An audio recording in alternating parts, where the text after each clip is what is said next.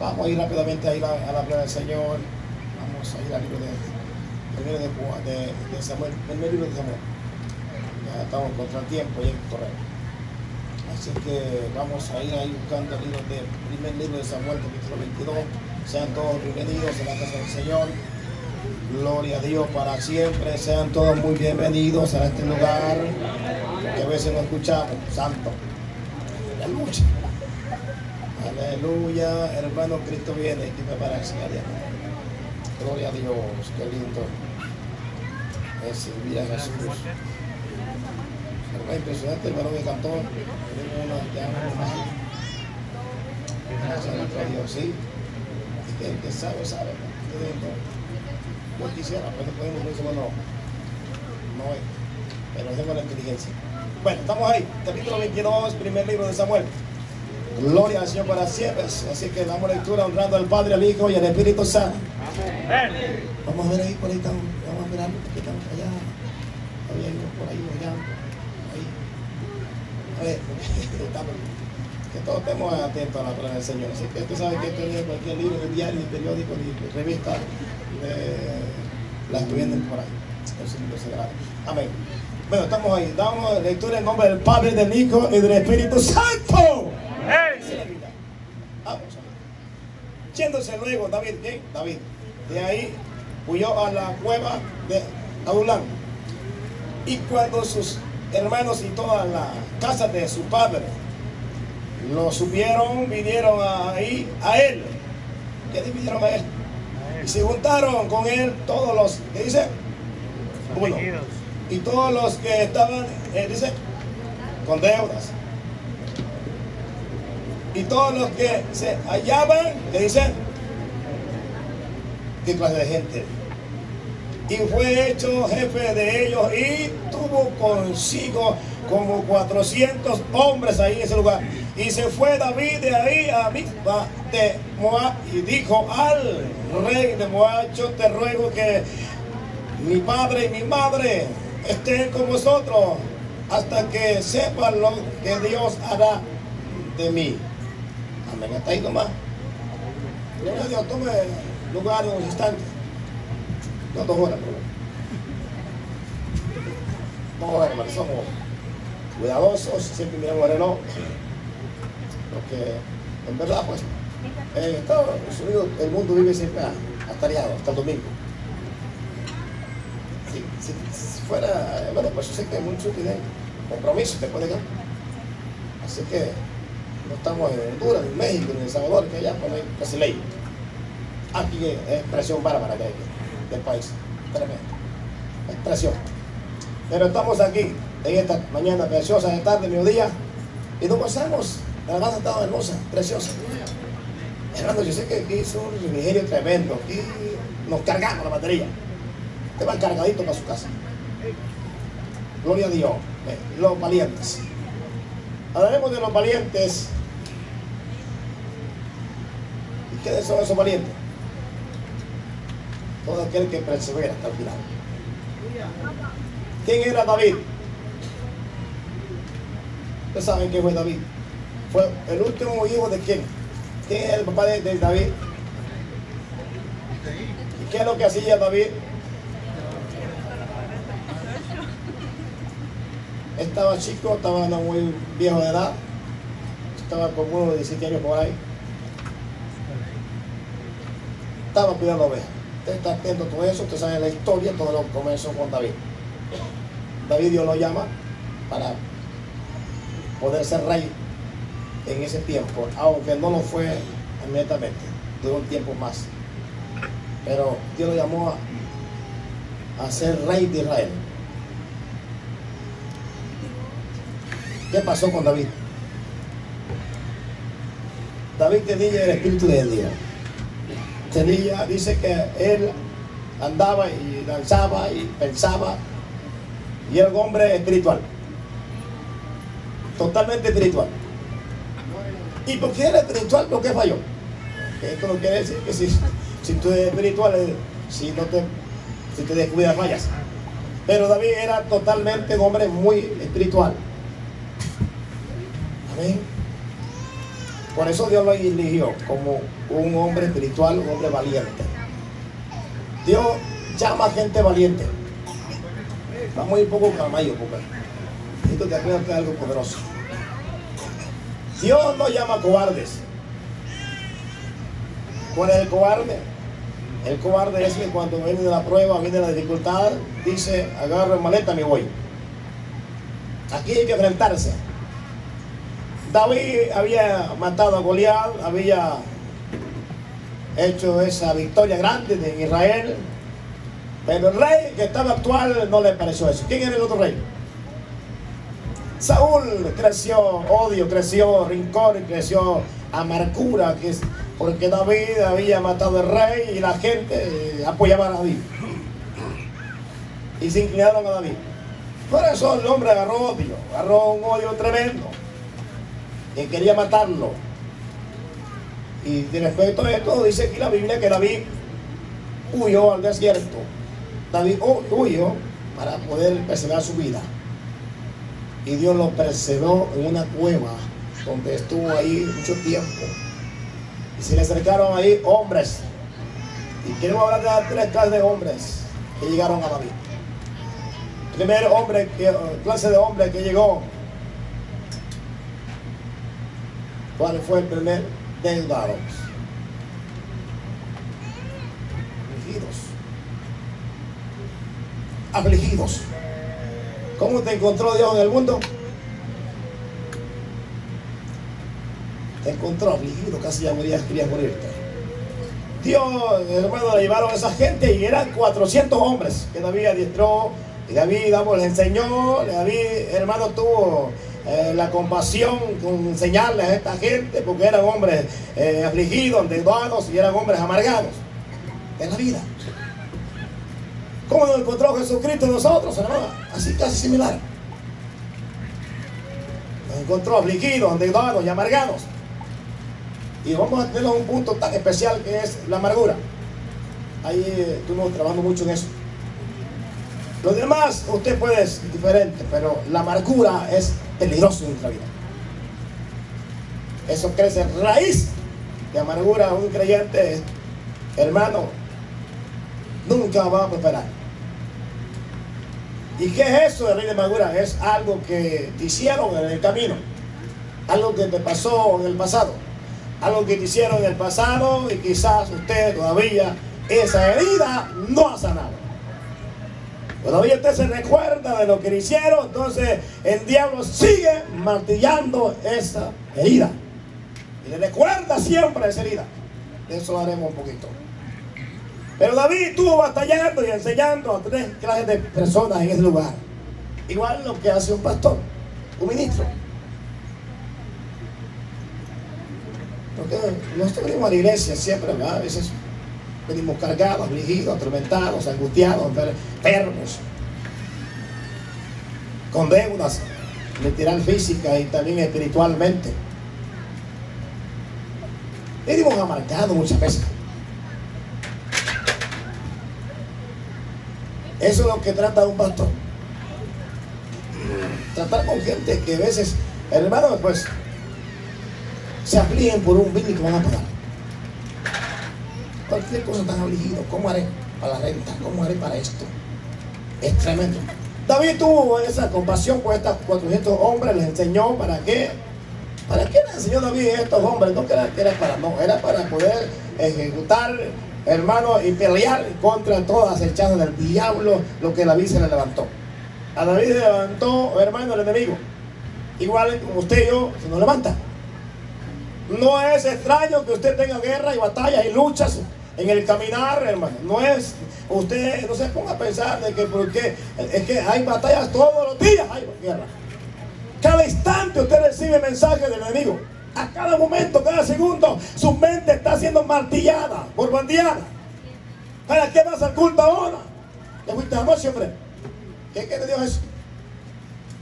Tú recibes mensajes mensajes del enemigo, tardo, maligno a tu mente. Entonces, no es fácil la lucha, la batalla. Y si usted se deja, usted va a salir derrotado siempre. Pero usted, como dice la hermana Rosa, enferma de vidilla, no sentía nada, pues venía. Porque si pasa a veces, viene al culto y no se tiene un pillo, ni una mosca se pone. Pero te vas y viene, pero no sabes que al venir y sentir algo, yo va a ser vida. Eso es lo que pasó ahora con ella. Por eso es que no tengo que dar, no, siento nada, yo no voy ya. No, tienes que ir, porque un día vas a sentir, hombre. Sí, hermano, esto es así, de persistir y poder ver el resultado, pues la persistencia. Ella recibe el milagro, recibe, recibe hermano, la fuerza, la vitamina. Porque esto, hermano, de la palabra es vitamina a vuestros huesos, es refrigerio al alma. Si usted te queda en casa, tú no recibes nada ya.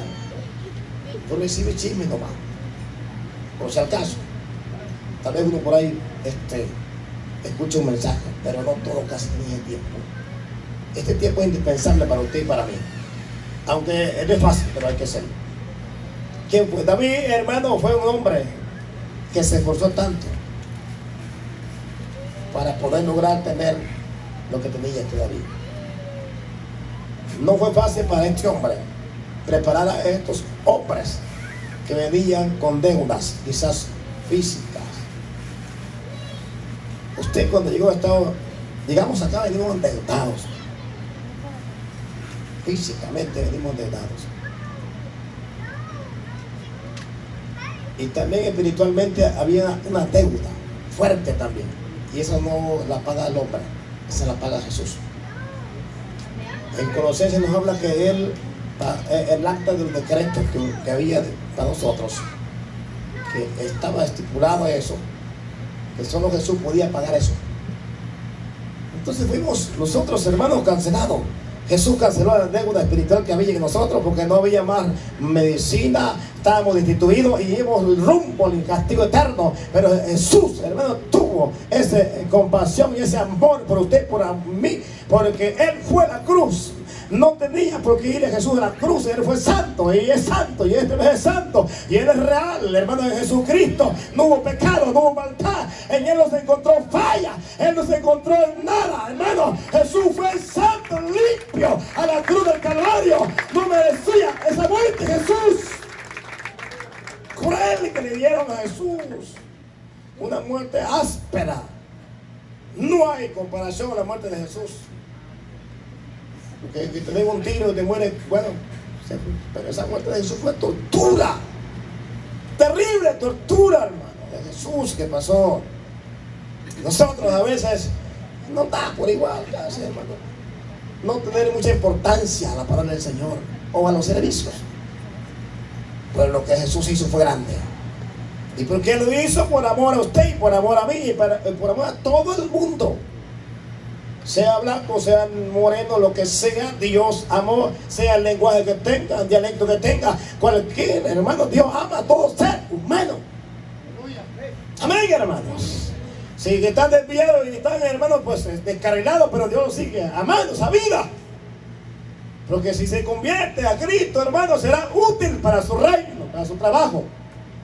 Por eso que, hermano, no despreciemos a la gente que están ahí bien perdidos porque Dios puede levantar de ese perdido un útil para la obra de, su crecimiento en la tierra.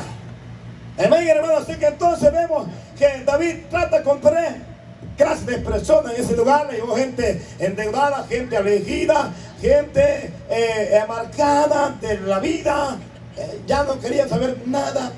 Pero David comenzó a consolarnos y a prepararnos. Ahí David los escondió Dios en ese lugar. Dios los refugió en ese lugar y no salieron hasta que estuvieron bien, estaban bien preparados para la guerra. Entonces David, hermano, hizo una labor en ese lugar, escondido, así como usted y yo estamos escondidos en las manos de Dios. Este lugar, hermano, estamos, el que está en Cristo está escondido. Estamos refugiados. Este es un refugio. Venir a Cristo y aceptarlo es un refugio para usted, para mí. Aquí estamos, hermanos, temporalmente refugiados en este recinto, pero un día Jesucristo nos sacará de aquí. Aquí es la preparación que hay. Este es un cuartel que hay. Usted quiere ser un buen soldado, tiene que estar ahí chacarejando todos los días. Aquí es un cuartel, aquí se prepara el soldado, la soldada para la batalla. Amén. Pero eso no tiene que usted faltar, porque aquí siempre se va a ver, hermano, siempre adiestramiento para la vida cotidiana que vivimos, para que lo que te enfrenta mañana Porque el enemigo te espera mañana al trabajo. Te espera por ahí, te van a esperar. Es más, mira, te van a esperar en la casa también. Y hoy porque ya es tan tarde, mira que era son ya. Cuando tú tienes un esposo que no es cristiano, siempre tienes lucha. No creas que usted todo es color de rosa, que te va a... No, te va a reclamar también. Así que entonces a veces el enemigo busca un cuerpo para hacerte la guerra, pero en el nombre de Jesús usted sabiamente vas a contestarle, no vas a pelear con nadie. Es que Jesús estaba metido en ese lugar y no podíamos salir. ¿Y cómo? Yo no conozco a Jesús, no, Jesús, mira que Jesús, mira cómo tú es juego de Dios. Y el hermano Julio, ¿quién lo para cantando? Nadie lo para. Entonces, entonces hermano, tiene para poderlo con, contrarrestar eso, con amor, con armonía. Para no entrar en pleito, porque no vas a perder la bendición de esta tarde. Que así es, hermano. Así es que entonces vemos que David se esconde en ese lugar. Y así como usted y yo estamos escondidos en Cristo, esperando la redención, esperando que un día Jesús venga y nos levante esta tierra, porque esa es la meta mía y suya. Yo estoy para quedarme aquí, todo lo que es aquí es temporal. Diga conmigo es temporal. Dos tres creen, ¿no? No, porque tengo esto y este mío, no lo puedo dejar. Todo lo que tenemos nosotros es temporal. La vida física que tiene usted es temporal. Usted tiene 80 años para vivir, si es, porque, si es que llega, dice mi papá ayer. Ay, no, pero yo tengo 82. Pero usted sabe que llega a 82 años. Con esa vida que llegan tan fatigadas que no deben más que 3 horas, 4 horas. ¿Qué pasa? Esa gente que dormía 9 horas, 10 horas, en nuestro país duerme hasta 15 horas. No hay nada que hacer, entonces, a dormir de vuelta, papá. Este país no, este país quita vida. Aquí te quita la vida. Tu, tu trabajo está trabajando, ¿qué va a hacer mañana? Y esto y lo otro. Y tu mente está trabajando doble. Trabaja, hermano. Yo me pongo a pensar eso. Señor, dame la capacidad porque estoy trabajando doble ahorita. Siento que es fuerte el trabajo. Son tres tipos de líderes. Líder en la casa, líder en la iglesia y líder en el trabajo. ¿Te crees? Diferentes tipos de, de liderazgo. En casa es diferente. Aquí yo ya no conozco de la casa nada. Aquí somos, aquí hermano, ya sabemos de aquí no hay preferencia. Porque ustedes pueden estar ahí. No, tengo que correr también. Sí. Si quiere salir del, del redilo, no dije, no, no, ¿qué está pasando ahí? No, aquí te parejo. Aquí estamos ya, hermano, así que aquí yo con usted ya soy amiguito, pero aquí ya vamos a comportarnos ya como algo diferente. Porque Cristo quiere que nos vayamos al cielo todos. Y si vivimos una vida desagradable, no vamos a viajar. Hay que prepararse. David prepara a esta gente para el ataque. Yo y usted nos estamos preparando para el encuentro con Jesucristo. Aquí es una preparación que hay un cuartel de preparación, porque aquí vamos a cantar físicamente, pero en el cielo lo vamos a hacer ya. Gente, aquí te cansa usted con dos o tres cantos que canta.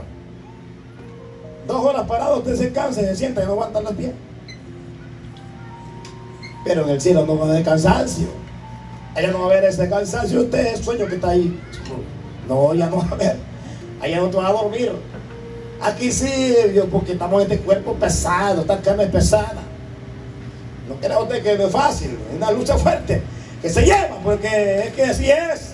Estamos en este cuerpo todavía, literalmente, físicamente, y aquí va a haber lucha diariamente con el enemigo. Los pensamientos que llegan. No, no está fácil de. Usted sabe de que está sentado en la silla es, es duro, no es fácil. Porque al enemigo no le agrada eso.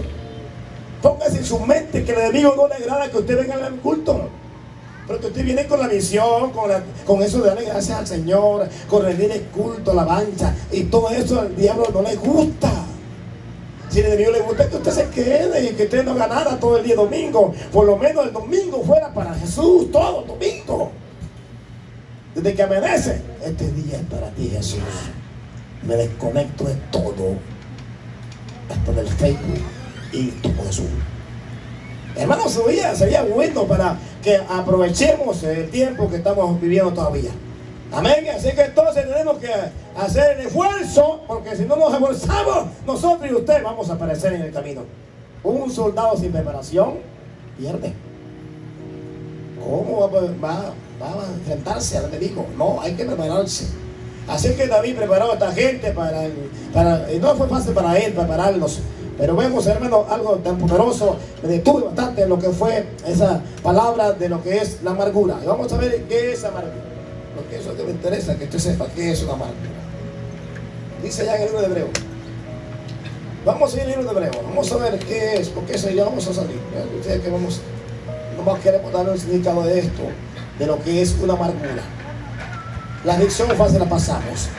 La deuda la pagamos, sea física o literal, Jesús la paga. Pero la amargura, eso está dentro de usted, dentro de mí. Ah, vamos a ver. Nos dice en el libro de Hebreo. Gloria al Señor. 12. Vamos buscando ahí. Aleluya. Nos da una buena enseñanza ese libro. 12, 12. Lo cual levantad las manos caídas y las rodillas enlizadas y hacer senda de derecha para vuestros pies, para que lo cojo no se salga del camino, sino que sea sanado. Seguid la paz con todo en la santidad, sin la cual nadie verá al Señor. Viene el 15. Mirad bien. Oiga, mirad quiere decir que tenemos que mirar físicamente. Mirad bien. No sea que alguno deje de alcanzar la gracia de Dios que brotando alguna raíz de amargura os estorbe y por ella muchos sean contaminados. ¿Qué es amargura? Significado de la amargura. Es tremendo esto. El significado de la amargura es, en griego es virgrián pero vamos a verlo aquí. Es como punzadas. Es como punzada, como una espina que está clavada ahí. Es un odio que carga a alguien que está mal. Oiga, es una expulsada que tienes dentro de tu, dentro de tu corazón que no hace nada. Y lo peor del caso es que toda gente que está marca, todo lo ve mal. Por todo se queja. La gente que está amargada, aquí no hay nada. Lo matamos la enseñanza. Todo se queja, todo lo ve mal. Pulsada, odio, veneno. O sea, alguien que está amargado es un veneno Él está envenenado y también a otro puede envenenar. Oiga, qué tremendo eso. ¿Cuáles son los síntomas de un amargado? Tiene su lenguaje negativo. Un amargado siempre es negativo. Oiga, David, ¿cómo le costó lidiar con la gente? Negativo. Son sensibles con nada, hermano. Están casi llorando. Una mirada que le diga, es que mire cómo miró ese fulano, no me quiere, y dice, no, fíjese que ya no voy a ir. Porque... Entonces son sensibles. Lenguaje negativo. No confíen en nadie. Y esto de confiar, no sé qué es, hay que tener mucho cuidado, pero usted cuando va a un restaurante, yo, yo porque yo fui cocinero, la gente sabe, no sabe nada lo que eh, atrás eso. Hay una carne que la meten entreverada ahí porque hay que, no hay que ver no hay que ver la carne, la carne y el pollo que se nos tira. Hay que hacer otro, otra química y otra comida diferente, ahí, otro tipo de, cosas y ahí le damos la carne y se va. Sí. Porque yo sé, yo conozco ese, como el tipo de ahí Usted siente sabrosa la comida, ay, qué rica, o sea, supieran aunque esa, esa comida se le puso en otro tipo de, para que no perderla, porque ya era como ya perdida casi. Usted, pero tú te confías que va a comer, que tu comida, está, rica la comida, pero usted nunca sabe qué le echaron a esa comida, con qué le hicieron. Eso que a veces nosotros tenemos que hacer. Si no haya comido, no, a veces hermano, a veces no comido, no, pero vas a comer, pues ahí, te sabes que tienes que comer. Y si tú no confías, entonces no comas entonces. Toma en tu casa entonces. Porque si así es, si alguien que es desconfiado, pues coma entonces en casa. Pero ahí cuando a veces vemos que hay gente que, que tiene esa raíz es desconfiado, no confía en nadie. Entonces hay muchos ejemplos, hermano, acerca de eso. Muchas cosas que podemos hablar de acerca de lo que es eso, que uno participa de cosas que a veces, hermano, pues no sabe uno qué, qué, qué han hecho, pero, pero usted está confiando que la persona que hizo eso lo hizo bien. Pero siempre y cuando dijo Jesús, orad por vuestros alimentos. Amén. Cuando usted ora por los alimentos, usted los santifica. Y usted ahí es que hay algo que, que está mal, ahí fue santificado. Y no se murió la fulana. Le echó un sapo muerto ahí con brujería y no se murió. Pero es que usted lo santificó en el nombre de Jesús, todo espíritu, todo fuerza, todo lo que